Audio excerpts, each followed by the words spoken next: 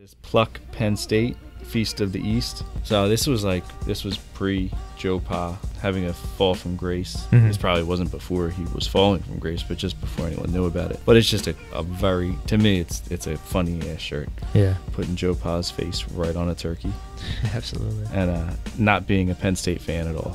It's just a really funny one. This is one of those ones that like someone like you with a press and someone sitting around a table like 3 a.m. has the idea. Yeah. And someone was like, "Yeah, I'll print those because you're not buying this somewhere, right? Like you're you're not going to to your your local, even if it's at like Pitt. So Pitt hates Penn State. If you're on Pitt's campus, there's not like a rally house that's going to sell a shirt that right. says "Pluck Penn State," right? Because as funny as it is, Pitt can't be anywhere associated with "Pluck Penn State" shirts. Yeah, it's like, nah, that one's a little too dicey. So this one's funny.